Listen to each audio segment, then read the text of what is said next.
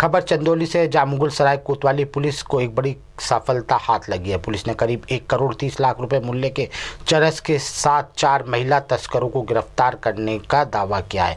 पकड़ी गई चारों महिलाएँ झारखंड के चतरा की रहने वाली बताई जा रही हैं, जो करीब चौदह किलोग्राम चरस लेकर अंबाला के लिए निकली थी, लेकिन मुगल सराय इलाके में पुलिस के हत्ते चढ़ गई। पूछताछ के बाद तस्कर महिलाओं ने पुलिस को बताया, वह चौथी बार चरस की खेप लेकर जा रही थी, जहाँ इस नशीले पदार्थ की अच्छी कीमत मिल जाती है। तस्कर महिलाएँ पहले सड़क मार्ग से बिहार पहुँची। यहाँ से ट्रेन में सवार होकर मुगल सराय तक आई लेकिन चेकिंग को देखते हुए स्टेट स्टेशन के आउटर पर ही उतर गई और जैसे ही बाज़ार में पहुँची पुलिस ने इनको धर दबोचा।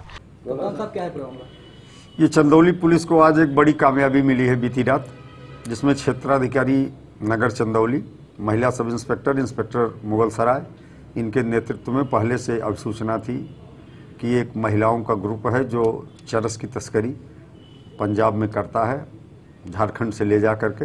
उसी अब सूचना के आधार पर बीती रात चार महिलाओं को गिरफ़्तार किया गया और उनके कब्जे से लगभग तेरह किलोग्राम चरस जिसका अंतर्राष्ट्रीय मूल्य लगभग एक करोड़ से डेढ़ करोड़ के बीच में है बरामद किया गया है। कहाँ से ये ले आ रही थी और कहाँ ले जा रही थी ये चारों महिलाएँ चतरा झारखंड की हैं और ये अम्बाला में सप्लाई करती हैं और शुरुआत इन्होंने बस से की थी।